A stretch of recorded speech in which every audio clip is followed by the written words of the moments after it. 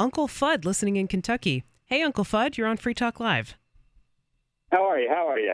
You know, I called in a while back. I don't know if you were there, but I think maybe these young men were that that uh, that I was talking to, and and one of them tried to engage me in debate. Unfortunately, it was after they had disconnected from me, so it's hard to reply when you uh, when you want to criticize something I said or critique it. That uh, it's hard to know who Anyway, it was, but perhaps it was Oh, Ian. okay, He's it. usually in the first chair uh, six nights a week. Yeah, he's not here tonight. There tonight. But anyway, yeah, that's good. It, that's that's irrelevant. The the point I was really calling about was about uh, the incredible cosmological changes that the Earth is going through right now. Cosmological? Okay. Okay, tell us more about those. Uh, planetary, uh, solar system wide changes.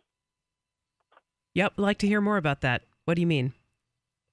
Um, well, it's uh, it's manifested on this planet a lot of times as earthquakes, uh, volcanoes, um, strange upwellings, and uh, uh, falling away of land. Uh, and in the in the solar system, there's a lot of debris that we see coming down as fireballs. I don't know if you've uh, experienced any of these uh, massive fireballs. I uh, Do you mean myself, meteors?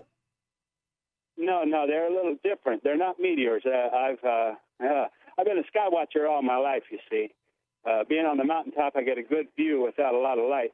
So, but uh, coming back out of central Tennessee into central Kentucky, one night we saw twin fireballs come down about two seconds apart, about uh, you know, in an arc Uh huh. less than probably two degrees apart on the same trajectory. They're slow, they're massive. But anyway, that's just one thing. Let's not get hung up on one little detail of fireballs. You can look it up. So, I mean, there's tons of people that see them. Okay, Yeah, and- at least at least this year, there's been over 300 reports of fire of just fireballs, and they are different from meteors. Okay, and so are what about the earthquakes? Is this is there an unusual amount of um, tectonic activity too? Yeah, and the volcanoes. The volcanoes are, are in the in the uh, hundreds now acting up. What they call dormant volcanoes are acting up.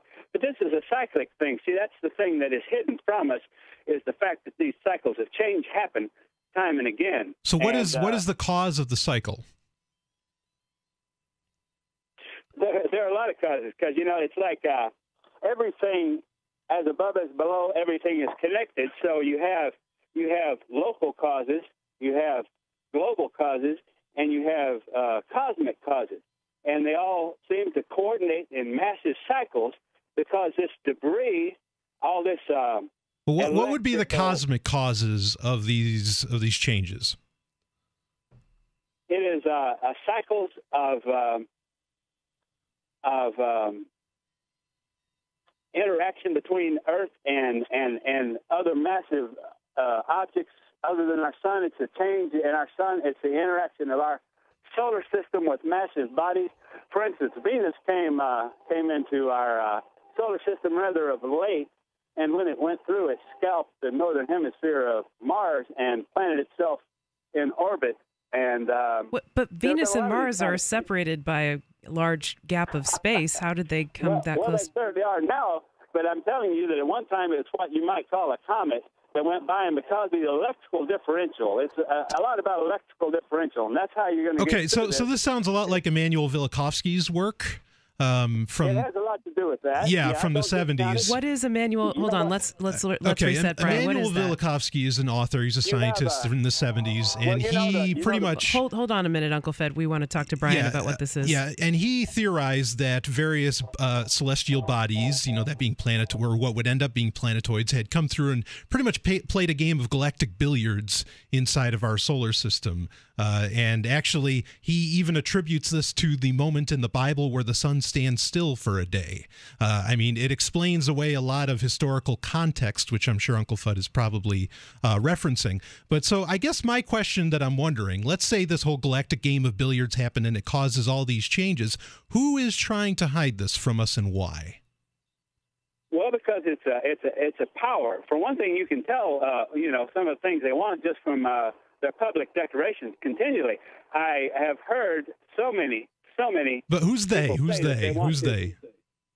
Well, for instance, Henry Kissinger saying that he wants to get rid of uh, uh, third uh, uh, third world populations, Africa. He, we need the resources, so we have to depopulate it. Okay, so you have a new like world this. order. Now, why? Why are they hiding these facts? I thought it's power, son. It's power. Can you imagine if you know and no one else does? Take the Georgia Guidestones. If you want to kill 90%, 95% of the population, then uh, there it is. If they're unprepared, All right, quick, quick, Uncle Fudd. closed- What do we do We to got prepare one minute for left. it? Go. What do What you do do you to prepare Excuse for me? it? What do you do about it? I didn't hear you. That's Okay, we have one minute left. Tell me what I do. Well, you have to uh, you have to raise your own energy. You have to be ready to go to the next level, to the next platform. This What's the next level? becomes. It's never a dead end. It's never a dead end. I talked to you this, about this before, about medicine, about energy, about raising your energy, about raising your vibration.